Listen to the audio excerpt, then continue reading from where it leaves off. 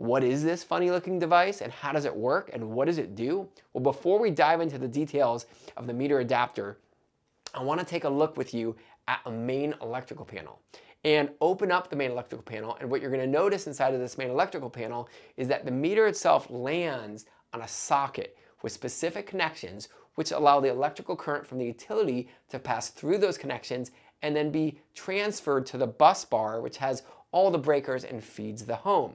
Notice, everything is all in one here. The meter lands on a socket, which is part of one electrical component. This specific type of main electrical panel is called a combination panel. And the combination panel is very, very common and the primary type of panel you're gonna find in the Western United States. Because of code and code adoption, this panel was primarily the one that was installed in most homes in California, Arizona, Oregon, while on the East Coast, they have a different type of panel. This panel has the power coming in from the utility directly to the meter socket, which then passes through the meter, and it's all in one. Okay, now let's look at that other type of panel that you'll see more commonly on legacy homes on the East Coast.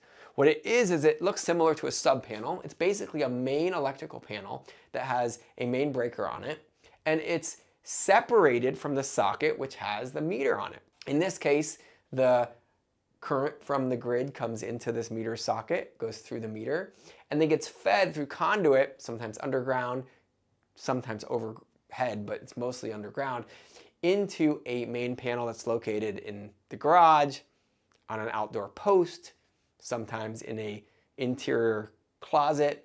Regardless of the location, what you'll notice is the meter socket in the meter itself, which is owned by the utility, owned from a kind of liability, able to work on, able to touch. Technically, the utility actually pays for and owns the meter itself because that's their billing device and, and kind of measurement device to charge homeowners for energy that they use. That's separate from the homeowner's components. In this combination panel, everything is all in one. Okay, so the current feeds in here, and if you see the difference between these two, you can imagine in this scenario here, it's actually relatively easy to get between the electrical meter, which the utility owns, as I mentioned earlier, and the electrical equipment, which the homeowner owns.